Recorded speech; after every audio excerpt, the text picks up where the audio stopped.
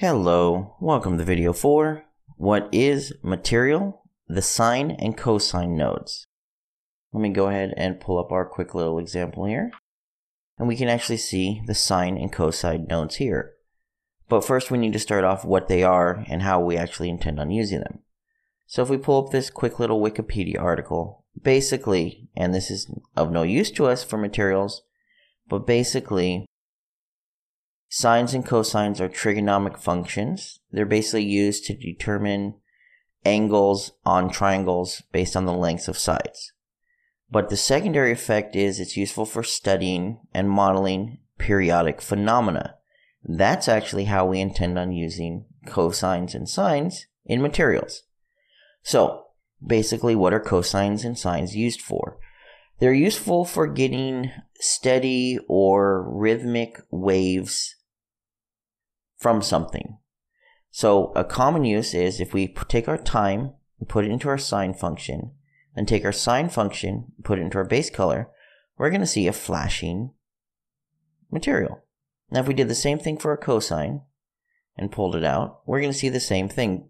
Basically, not identical, and we're going to cover the difference. Now, let's cover sine and cosine nodes themselves. So the sine and cosines have one input and one output and only one parameter. So it's really simple. The parameter is the period or the length of time for it to completely cycle.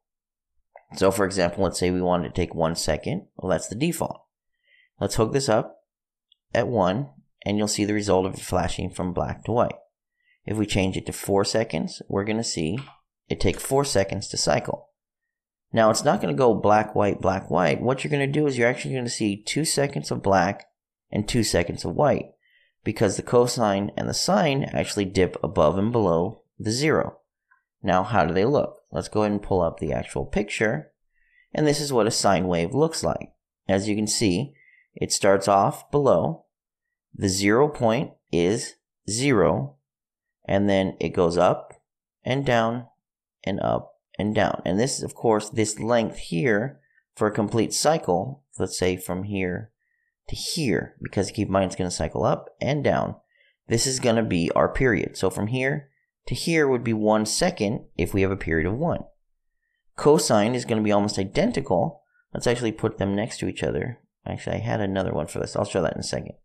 But cosine, the difference is a cosine, the zero value is going to be at one, not zero like a sine. If I was to actually pull up this one, which I had up and then I closed it and we showed them compared, you can see the difference. Basically, our sine wave is going to start at zero and go up, and our cosine is going to start at one and go down. And you're going to find that they're going to be exactly 90 degrees difference at any point for the sine and the cosine.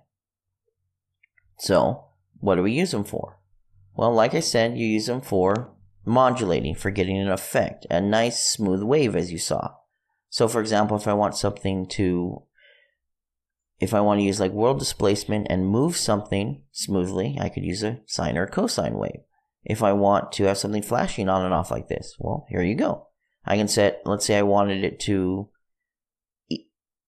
let's say I wanted a light to flash on and off. Well, I can use this. I can set my time to say three seconds.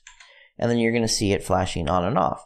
Keep in mind this is going to be an input, so you can apply it to an actual color itself. Maybe we'll multiply it by color.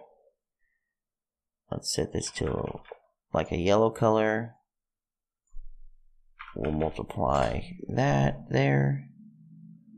We'll go here, we'll shove this into our base color, and then you're going to see it going from black to yellow. So that's what our sine and cosine nodes are for. They're basically, like I said, they give us that nice smooth wave. It's a sine wave or a cosine wave. And your difference is your sine is going to start at zero or a black and your and go up to white, whereas your cosine is going to start at white and go down to black, or 1 to 0, 0 to 1. That's it. That's our cosine and our sine. If you have any questions or comments, please feel free to leave them below.